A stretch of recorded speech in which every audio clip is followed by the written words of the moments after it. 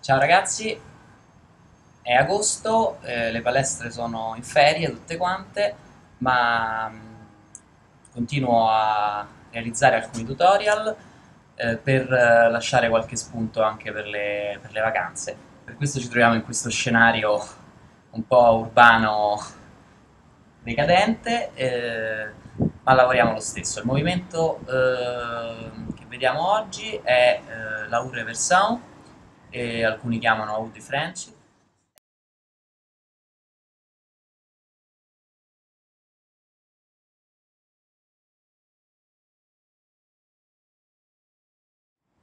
È un movimento piuttosto basico, ma con cui tanti, soprattutto all'inizio, si scontrano, per cui oggi vediamo alcuni piccoli dettagli per eh, cercare di migliorare l'esecuzione di questo movimento.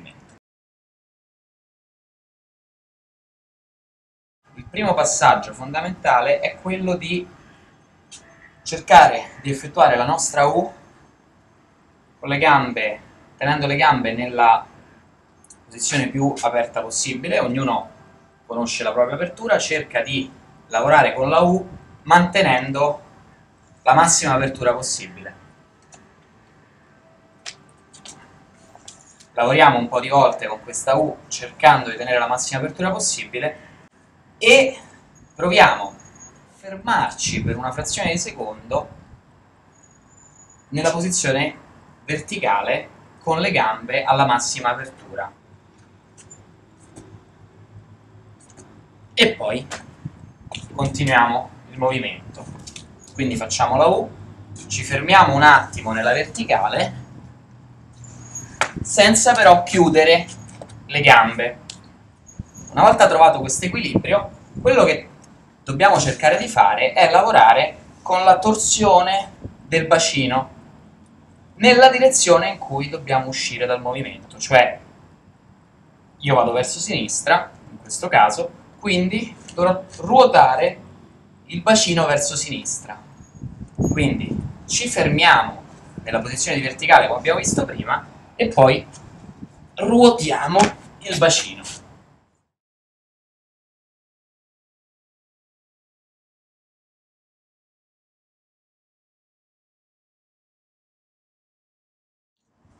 Un altro dettaglio importante, che è quello che aiuta a compiere questa rotazione di bacino, è quello di staccare da terra la prima mano che ho appoggiato, quindi nel caso in cui vada verso il lato sinistro, la mia mano sinistra dovrò staccarla da terra, quando sto a testa in giù, cercando di aprire la spalla, come se volessi guardare il cielo o il soffitto. Questo perché aprendo in questo modo favorisco la rotazione del bacino.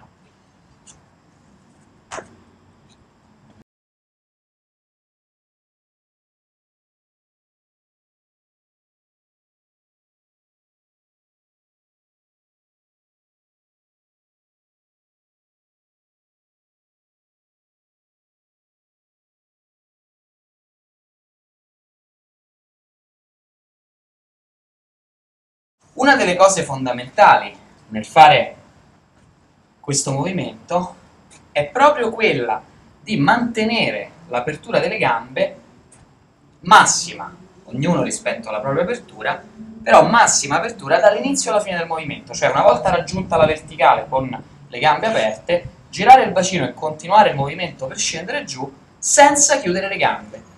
Questo perché è evidente, dal momento che le gambe pesano più del resto del corpo, se le due gambe si chiudono e si uniscono, porteranno il mio peso verso il basso, anziché bilanciarsi. Se io chiudo le gambe,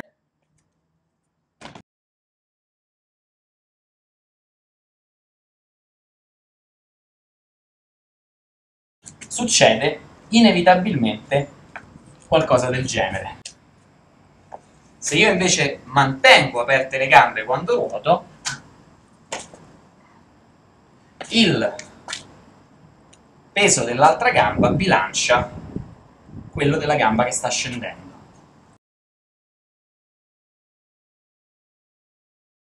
Un modo a volte abbastanza utilizzato per imparare il movimento di Aureversau è quello di partire già in posizione frontale, in maniera tale da costringere il bacino a stare già girato.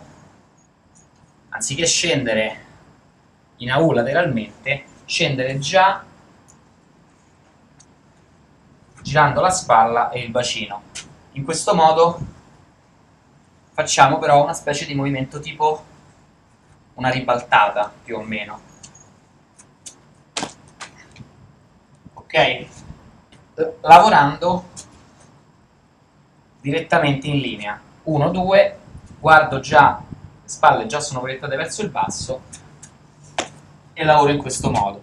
Questo non è un modo sbagliato di fare il movimento, ma a me piace di meno perché, diciamo, eh, abitua il corpo a lavorare soltanto su questa linea frontale, ma perdiamo la capacità di partire con un movimento normale di AU e lavorare successivamente con la torsione del bacino.